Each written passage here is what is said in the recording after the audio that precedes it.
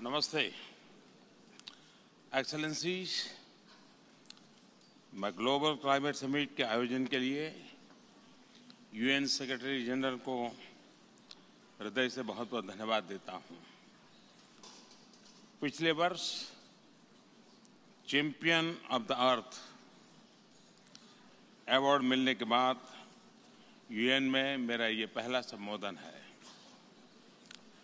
और ये भी सुखद संयोग है कि न्यूयॉर्क दौरे में मेरी पहली सभा क्लाइमेट विषय पर हो रही है। एक्सलेंसीज क्लाइमेट चेंज को लेकर दुनिया भर में अनेक प्रयास हो रहे हैं। लेकिन हमें यह बात स्वीकारनी होगी कि इस गंभीर चुनौती का मुकाबला करने के लिए उतना नहीं किया जा रहा है जितना कि होना बहुत अनिवार्य है।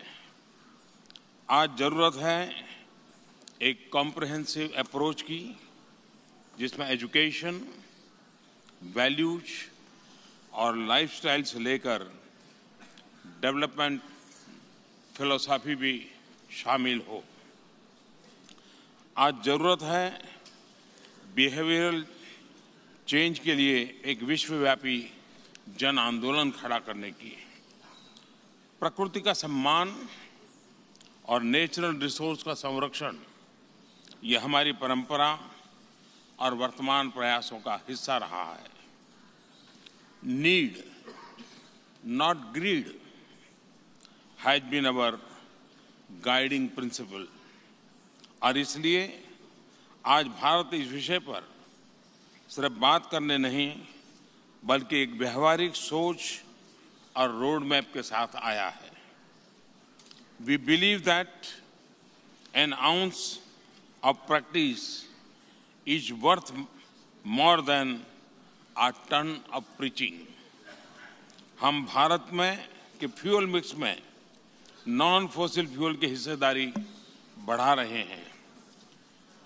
हम 2022 तक रिन्यूएबल एनर्जी में अपनी कैपेसिटी को 175 गीगावाट तक ले जा रहे हैं और आगे हम इसे 450 गीगावाट तक ले जाने के लिए प्रतिबद्ध है।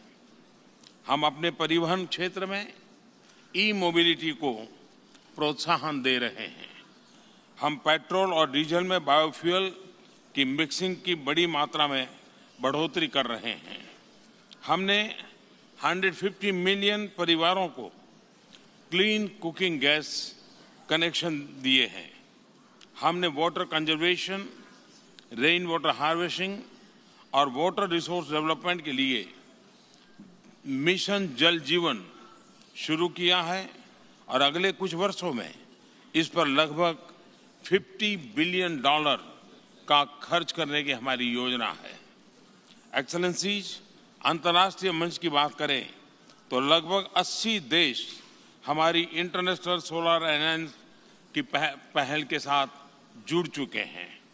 मुझे प्रसन्नता है कि भारत और स्वीडन अन्य पार्टनर्स के साथ मिलकर इंडस्ट्री ट्रांजिशन ट्रैक के लीडरशिप ग्रुप का लॉन्च कर रहे हैं।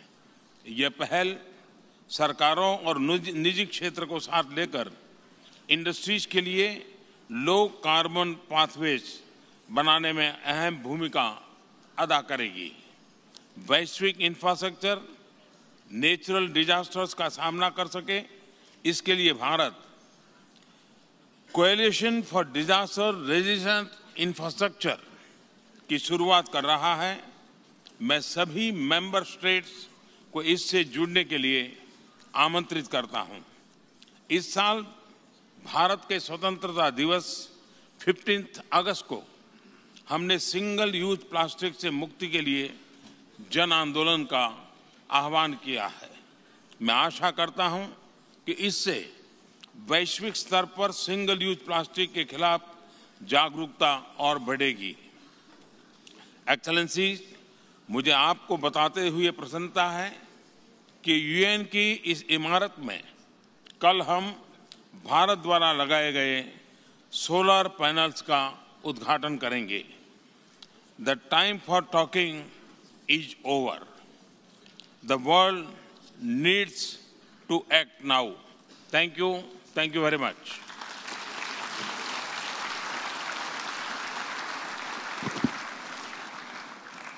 Thank you, Your Excellency.